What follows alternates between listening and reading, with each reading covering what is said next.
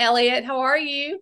I'm doing great, Heather. How are you doing? I'm so well, and I'm happy to have you on the show today. Thank you for joining me. Thrilled to be here. Well, Elliot, tell me a little bit. I, am all about family. And as my audience knows, I love to talk about our kids and our teens and things going on. And I want to hear all about your family. Well, that's a great question. I have 28 year old twins scattered around the country. I have a uh, stepson with a baby that lives a few minutes from us, and I have a stepdaughter with a 10 year old that lives right in our, my house. Um, and then we started the charity for our son who's no longer with us. Wow. Y'all are busy. I love family. I'm with you. Can't yeah. get more family centric. Your life is full. Yes. It is definitely full. So, you and your wife started a foundation back in 2015, and that's what I'm very interested in talking about today. And it's called A Brighter Day, which I love the name of the foundation. It's so uplifting and positive and happy, but this came about under very unhappy circumstances. And I'm so sorry, Elliot, that Thank I'm you so, so sorry. Thank you so much. So what we did, Heather, we started this charity because in 2015, my 19 year old son, who was a sophomore at the University of Montana, walked up to the highway and jumped in front of an oncoming truck and took his life. And we were frantically looking for him. We knew something was off. He hadn't told us what was going on. He hadn't shared what was going on. Uh, it just didn't. It just felt all wrong. And at 6:30 at night, after we were looking for him all day, and he had been gone since 1.30 in the morning, no drugs, no alcohol. At 6.30, Federal Express arrived with a six-page suicide note. And in it, the first large paragraph, it said, Mom and Dad, I've been thinking about this for a long time. I never would have told you how I felt. I never would have asked for your help. And I never would have taken your help. Hmm. I must have read that, Heather, a hundred times going up to Montana to claim his body to bring it back for burial, and then the same thing on the way home. And I realized at that moment on the way home that we're going to be victims of this suicide our entire lives. And now they call us survivors, which I'm not sure I like that name, but we're going to be victims. We have to do whatever we can in our power to stop other families, other parents from experiencing this tragedy, this loss, this devastation. And so we came up with the idea of bringing resources on stress and depression to teenagers. And we started with music like Battle of the Bands, live band showcases of teens playing for teens. And in the first two years, giving out backpacks filled with these resources. And there, it's all original content. Uh, we handed out thousands of these backpacks at our concerts. And then COVID hit, and we had to pivot, and these became virtual teen talent showcases. And now we've realized that, and we still do the talent showcases, we realized the best way to reach teens is actually through their parents. And I know you've got a great audience of moms there. Mm-hmm. Um, and, we, and we can go back over that, how maybe I can come up with some ideas on how moms can get closer to these teens in trouble because a lot of times they're not communicating this, like in my house, that we're not. But we came up with the idea of working with parents, and now we've created the website, a brighterday.info, that's full of hundreds of resources. It's got a teen survival toolkit that's free on TikTok, free on a website, free on Instagram for teenagers. We've got a parental survival toolkit that's free in places including Facebook now.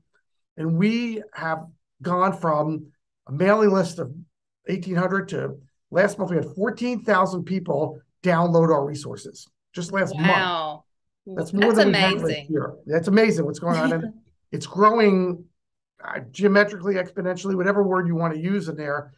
We're just becoming very relevant. There's no advertising on our website. Uh, we raise money separately from what we do with parents and teens, totally separately. But the idea is that if we can create resources for teens and their parents, then we can help stop teen suicide. And that's our ultimate mission. Yes. Yes. Well, it anxiety and depression. I mean, Elliot, I talk to so few moms now who don't pull me to the side. I mean, it's never publicly, but they will pull me to the side and say, my daughter is now on antidepressants. I don't know what to do. You know, my my son is depressed. It, I mean, I, I feel like everywhere I turn, and you see these kids out, and like, you know, you're Jake. Um, you didn't see any signs before, I'm sure, or you would have taken note but and they're not seeing signs. It's just beforehand. There's no notice. There's no you know they're smiling. They're up on top of the pyramid. They're hitting the baseball at the baseball game. They're cheering. And i i don't i don't know what's going on elliot. Help me out with this. Well it's really sad what's going on. I know for jake mm-hmm. um, and it, it, any parent who's experienced this knows that there's an empty hole for life. It doesn't go away he's my screensaver he's the 8 by 10 right by my television set it's something you have to live with, but the hole never really goes away. Mm-hmm. But what he what we noticed and what made me feel so uncomfortable was when he came home for Christmas break shortly before he took his life, his sleep pattern was interrupted and his eating pattern wasn't right. And we talked to him about it. Are you feeling sad? Are you, no, I, I'm not. He said, but when I was, and he said, when I was in high school, I thought about suicide. Well, apparently, more than half the kids in high school now think about suicide at least mm-hmm. once. It's I believe that. Yeah. Mm-hmm. And so that's not unusual. But we talked about it and he seemed fine. But when he left to go back to school, he couldn't hug me. He couldn't look me in the eyes. Hmm. And I felt so uncomfortable. The following weekend, I wanted to go up there and talk to him. And we overrode that. Everybody got on my case that I was overreacting. On Monday or Tuesday, he played an ice hockey game because he played ice hockey at, in, in Montana and he scored seven goals. Wow and they actually have retired his jersey at the at the rink there. And but that wasn't good enough because on Thursday night he took his life. Mm-hmm. So that wasn't enough satisfaction for him at all. Um, so there are there are definite signs for parents to look for, uh, but they're not easily easy signs. You're right. You just said it. Sometimes we're the last ones to know, and in our case, I feel like I was the last one to know. Um, his friends told me after he died that the one thing they noticed there, Heather, was that he was always sleeping when they were awake and he was awake when they were sleeping. Hmm. So sleep pattern disorder, eating disorder, they are both common for teens that are going through stress and depression. Of course, eating disorders, you can go to the website and there are thousands of places you can go to for teens.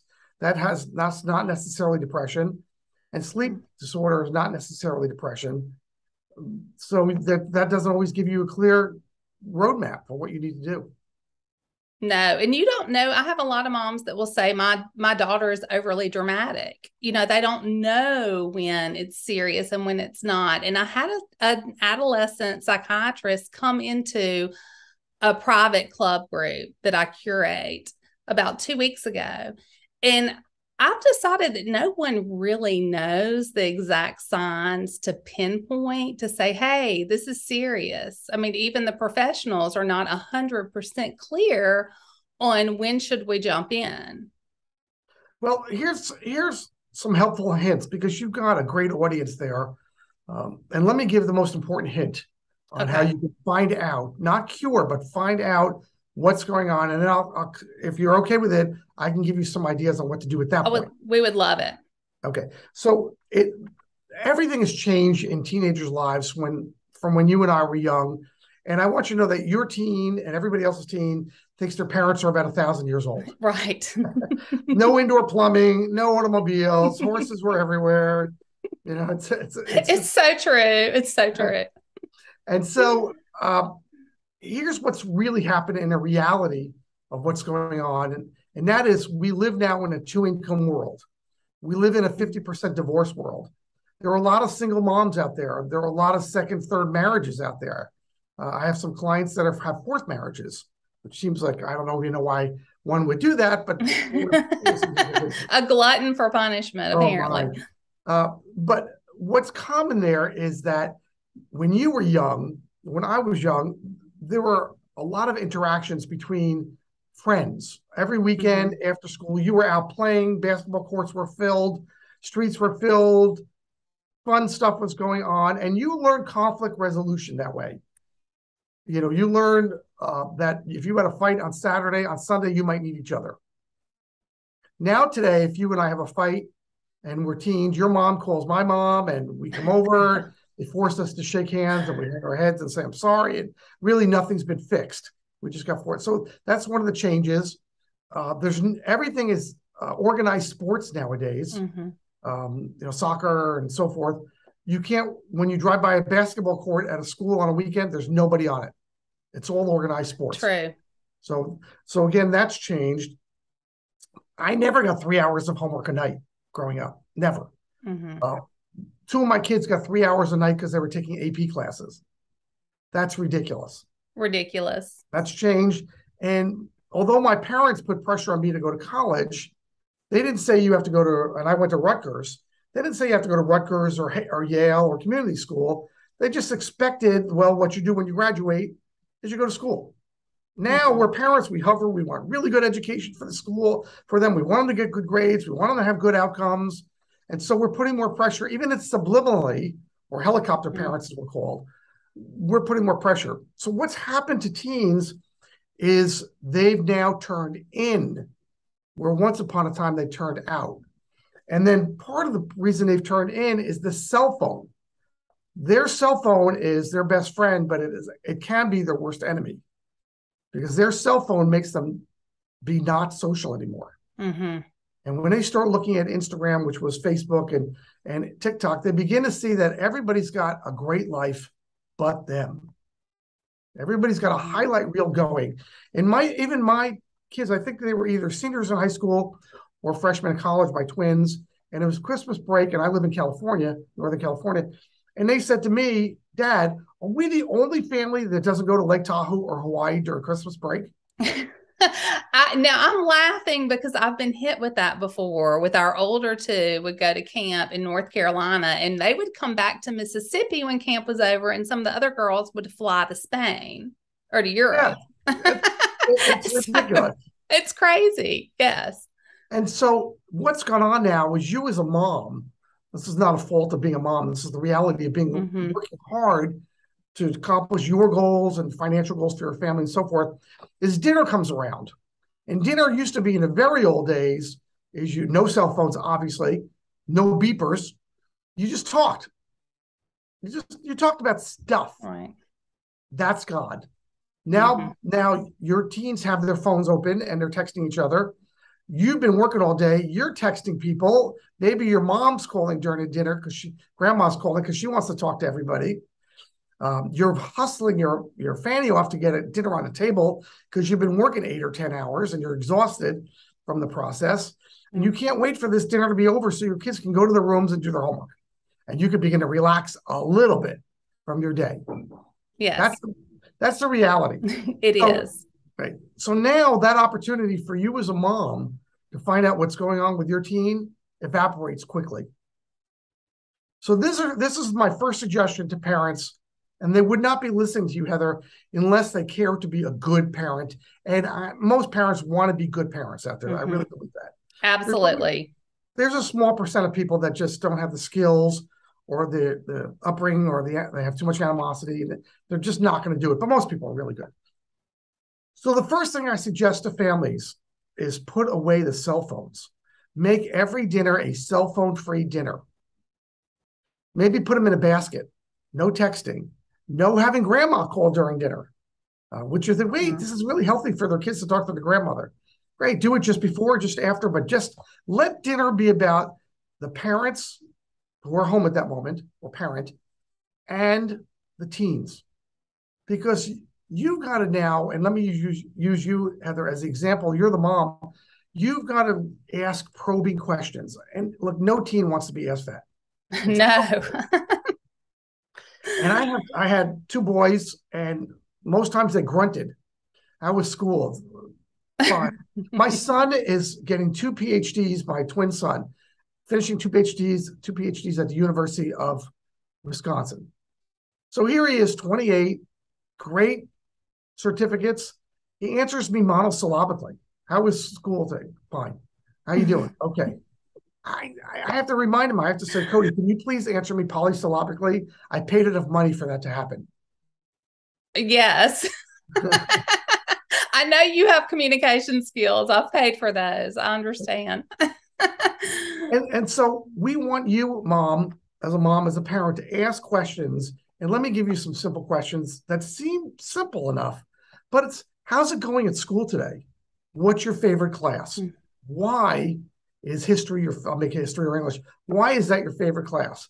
What's your most difficult or challenging class? Why? How do you get along with the teacher? What your favorite friend is Jimmy. How's Jimmy doing chemistry class that you're struggling so much in? Are you both struggling with the teacher? Have you talked to the teacher? Mm-hmm. Can I help you talk to the teacher? Can I help you go to the counselor and see if we can solve this chemistry class issue so you don't get a D and have to repeat it? Yeah. And these are probing questions. And he seems simple. And you might think, well, I asked them. I said, but ask them every night because your teen will give you the right questions to ask. If your teen cares, your teen's going to turn around to you and say, hey, mom, okay, how was your day at work? And now you're in a dialogue. Yes. And they realize that, you know, mom has good days and mom has bad days. And I have good days and I have bad days. And maybe this is normal. Exactly. I'm so happy to hear you say that, Elliot, because parents today concentrate on happiness. I just want you to be happy. I want my child to be happy. I just I want my I want to be happy. I want happiness for myself. And not every day is going to be happy for no, anyone. And you know that being happy is a moving target. Yes. Uh, I just was talking to somebody yesterday and I was trying to explain sadness to them. And, and they said, Do you think being sad is a sign of depression? It is, but being sad is not necessarily a sign of depression. You have a bad breakup in a relationship, somebody mm-hmm. passes away in your family, you really messed up studying for the test and got a bad grade.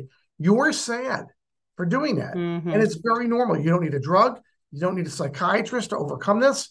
You need to get through the sadness because it is one of thousand emotions that we as humans go through. We just have to learn how to deal with them. And a teenager has no experience in this. And therefore, if they're sad, they begin to rationalize out, Heather, that, well, I'm feeling kind of blue or black. Yesterday was mm-hmm. pretty crummy. Tomorrow doesn't sound like it's going to get any better. Why even bother? Nobody's going to miss me anyway. And so now we're down, we're down a really sad road because mm-hmm. they feel their life is inconsequential and meaningless and we don't want to get to that point because that's that may be a point of no return. And you as a mom and you or or parents you are on the front lines of asking great questions and your teen will tell you everything you need to know. Said well i just don't get math. I just don't get it. I'm in there i'm getting the worst grade in the class. I hate this. I'll never use this anyway. So i just want to get out of it. And that is telling you something that if you didn't dig a little bit Heather onto the math class or the history class or the chemistry class to find out that that's a struggle and that mm. they're not maybe they're not even showing up anymore to it they're sitting outside the class or they're hanging out in a courtyard somewhere because they don't even want to face it yeah. you will intersect that disaster before it happens and because it's the little things it sounds like elliot i'm sorry to interrupt you but it sounds like it's the little things that add up to be the big thing is that Right. The, the big thing is they broke up with their boyfriend or their mm-hmm. girlfriend. They did that. Right. And, they, and, they, and, they, think the world just came to an end. That's a big thing. Mm-hmm. But the history class or the chemistry class that they're, they hate, they're going, it's a road. They're on a road. And then they're, you know, one thing I noticed with my son, I, I met with my son, Jake, in October at Parents Weekend at the, as a sophomore. And he was getting very different advice from mom and dad. And I felt bad for him. I, I come from where we, I, I was married for 18 years and divorced. I'm not divorced now for 20 plus years and remarried. And he said his mom wanted to be a wildlife biologist because he loved animals so much. Not because he wanted to be a wildlife biologist, but she wanted him to be that. I wanted him to just major in business or find something he could be good at, uh, or be a doctor because he loved that so much. Mm. But but that wasn't for him. So when I sat down with him in October and he died in January, he said, Dad, I'm lost. And I said, What does that mean to you? I'm lost. We were at dinner, it was just he and I. He said, I, am not doing well in chemistry and biology. I'm not liking it. I said, Well, let's get you out of them. Let's get out of them. You don't have to do this. He said, Well, if I get out of them, I can't be a wildlife biologist. That's what mom wants from me. Hmm. I said, Are there classes you like? He said, I like math and I like history, and English isn't bad either. And I like computers a lot. I said, well, let's go that let's go that route. he could not get the courage to tell his mother that I don't want to be a wildlife biologist. So, like a lot of people do, they get self destructive. He just simply stopped going to those classes. Mm-hmm. Sure enough, right when he died, they could have failed him. They gave him a D in those two classes just to be nice. Um, but he was self destructive. And now, instead of telling his mom that he wasn't going, he ended up taking his life. That was a road that he was on that he found that was a no way, no way to get off that road. Mm-hmm. And so mm-hmm. rather than face the reality that, okay, like a lot of college students or even high school students, I'm on the wrong path. Let me take a step backwards and fix this and do something I really want to do. He took a turn for the worse, mm-hmm. cascaded into death. And that didn't have to happen if perhaps in that October we really got tough on him and tough with him and said, well, let's go to the school right now and get you out of those classes because it is better to change classes than it is to fail those classes. Mm-hmm. And just be be willing and ready to pivot. I think every school and every yeah. person again wants the best for the student, but can they? But they see it through their own prism. So mm-hmm. you want to be a great mom. It is very difficult for you to be a great mom looking at it through your the lens of your teens. If you can, it makes you unbelievably empathetic. But you know, most people, again, they're tired, they're busy, they're working, they look through their own lens and their own experiences. And that's not necessarily who your child is. So true. That is so true. So, your backpacks, y'all have put these backpacks together, you're giving them out at concerts. So, what type of information is in the backpack? I'm so curious about this. Great. And all of this is on the website at abrighterday.info, abrighterday.info. And it's all free. There are no ads on this site. So what we did is we put, uh, if it's for the teen, we the first page is, are you feeling this way? And it's a series of maybe 10, 12, 14 things to see if you're feeling this way. If it's page two, it's is your friend feeling this way? And hmm. page three is for the nosy parents that want to look at it too, that says, is your child feeling this way? Is your teen feeling this way? And then it talks about ways that you can begin to seek help. And, and to, that if you're feeling sad, what can you do about it? And of course, in there, we know that a lot of teens aren't sharing that. So we put in there to make sure that it's important to share this with your parents, as difficult as that might be, because they can help you. Since we created these backpacks now, we have two new programs that have come out. And the first one is any teen, anywhere, and any parent, anytime, 24 7. Heather can text 741 741. Text there the word brighter, B R I G H T E R. And they, within five minutes, will get a counseling session right there. Oh, wow. It will last up to 45 minutes and they can do it seven days a week. That's fantastic, Elliot. If that doesn't that's work, huge. That's huge. If that doesn't work, and they need to get in front of a counselor that's local. In all 50 states, they can go online to our website. We will hook them up with a counselor, a licensed counselor in that state. That now their parent has to be involved because they're licensed counselors within each state. In the chat room, they don't parents don't even have to know this is going on. And I'm not suggesting that parents don't know. I think they they need to know, but mm-hmm. teens are teens, and I think my son would have probably gone to the chat room, but would never have gone to the live counseling because that would have to admit something. But he might have said the most popular thing that teens ask: "Am I is, am I the only one feeling this way?" Mm-hmm. And then he would have gotten an answer within five or ten minutes. No, but how are you feeling? What's going on? How's your sleep? Mm-hmm. How are you doing in school? Have you talked to your mom or your dad about how you're feeling? Have you thought about getting some live help on this? Because mm-hmm. the sleep thing, Elliot, I'm sorry I interrupted you. The sleep thing is, I mean, that is so common. You know, you just think, oh, that they're just teenagers. That's why they're up half the night. You know, you're you've really caused me to to pause on this. Well, some of that is true. You know, teenagers yeah. are, are are goofy no matter what. By the way, there's a difference between goofy I use the word goofy because it's a clean show. Yeah. and, Thank you. and depressed and sad. And so I I was a stupid boy teenagers. And I have to tell you, as a as a man, I think all boys are basically stupid. in some degree, uh, and because it takes longer for them to develop. It just mm-hmm. that's just anatomy. So I was not a depressed teenager, but I was a stupid or dumb or lots of lots of things didn't make any sense uh, for me. And I liked math, but I had no idea how I'd ever use chemistry my whole life. Why, why bother? You know, and mm-hmm. I was one of those. But I I worked my way through it.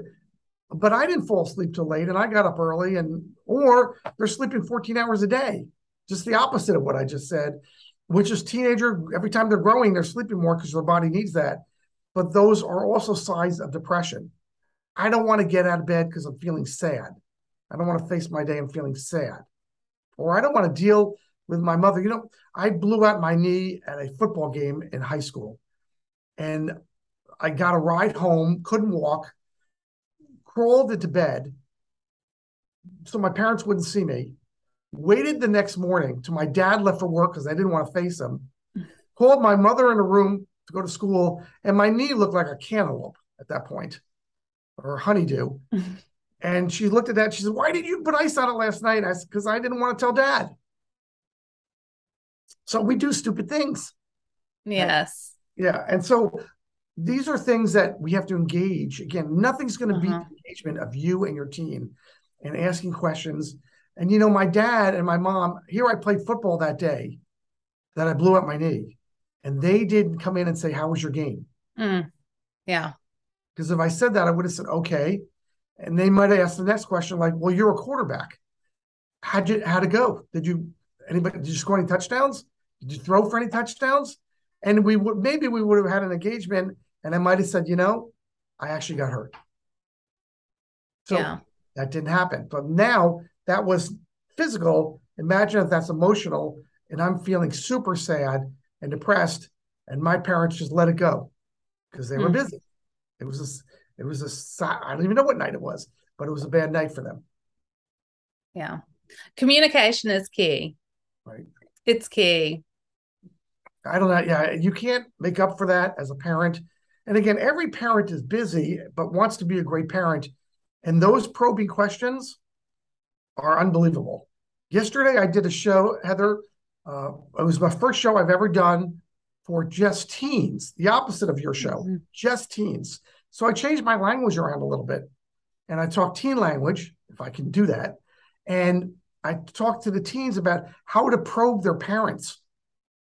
Just the opposite of what. Oh, I love it! I love it. and I said because your parents don't want to talk to you because they're busy, they worked all day, they got yelled at by their boss. They got a project that's due. Uh, they got relationship issues. They things aren't working right. Probe your parents on their life. So let you be the parent. So until they start being the parent back to you. That is great, Elliot. I I love your mission. You know your your pain is your platform. That's so true. But you are helping so many people. You are you are going to make a huge difference, Elliot. You really are. You really are. And I, I had a conversation with a lady today at lunch, and I said, you know, we need to go back to parenting like our grandparents did because absolutely. they communicated. They communicated. Yeah, absolutely. You have to be an empathetic person. Again, it doesn't work for everybody. You know, I can feel bad for you, but I need to be in your shoes also. And that's hard. So, can you, as a parent, be in your teen shoes? Because you were only a teenager yesterday. We know we know because life is a blink of an eye or a snap of a finger. And so what were you going through? And if you were the perfect teenage daughter and your daughter or your son is absolutely the opposite of that, can you understand where they're coming from? Or are you just going to be overly judgmental and think they're a moron or they're rebelling or of course they're getting high or smoking? Look at them. Mm. Can you get empathetic? And and I, I know most parents can, but it doesn't, it's not necessarily second nature because their view and their prism is their own upbringing, but your children are not you. Right. That is such a great statement. Your children are not you. And sometimes that's difficult as a parent to realize that, that they're, you know, you want to embrace the differences and and enjoy the fact that they're not you because there's so many things about my children that I wish I was more like. I don't know about you, but I see things about them and I think I wish I was like that. I had that characteristic. So yeah. Well, thank you so much, Elliot. How can we get in touch with you? You've mentioned already your website, and your website is a brighter day. Dot info dot org. Go there too. It's not okay. info dot org. Uh, my cell number, and I give this out. Parents are happy to. I'm happy to take these calls. I get them all day. Is 510 206 1103. And the email address is Elliot, E L L I O T, two L's and one T, at a brighter day.info. And right. We're, and I'll... we're thrilled to send everything out for free. Oh, wow. That, we, that's so generous. We raise money totally separately through galas and golf and so forth, but we don't use our website and and we, we don't use stress, depression, and tragedy to raise money with the same person that's experiencing this. Mm-hmm. Well, thank you so much, Elliot. I appreciate you coming on the show. I think that your message is so helpful and really encouraging to us as parents to get in there and and do the work, communicate, have the time at the table in the evenings and find out what's going on in our children's lives. Heather, you've been great. And it's people like you that are getting the word out and changing lives as well. Thank you, Elliot. Thanks for having me on your show.